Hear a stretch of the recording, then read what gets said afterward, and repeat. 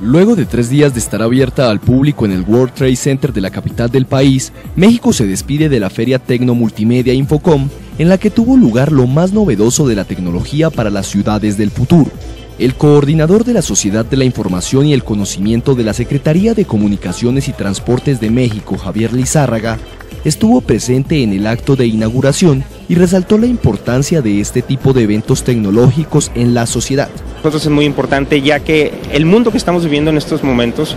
va a ser muy diferente al que van a vivir las siguientes generaciones o nuestras generaciones. En unos próximos 10 años vamos a ver un mundo totalmente diferente, con autos no tripulados, con hogares conectados totalmente, donde optimizas el consumo de energía. Drones capaces de controlar el tráfico, proyecciones de imágenes en cualquier objeto, edificios inteligentes que transmiten mensajes a sus inquilinos o pantallas LED en las salas de cine son algunas de las novedades presentadas en la Tecnomultimedia Infocom.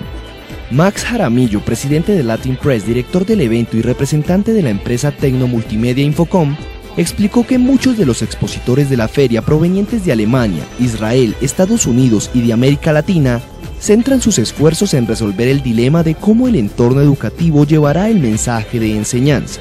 Creo que mucho de lo que vas a ver aquí eh, hay un entorno educativo para aquellos que manejan la tecnología, de aprovechar esa tecnología para llevar su mensaje de enseñanza.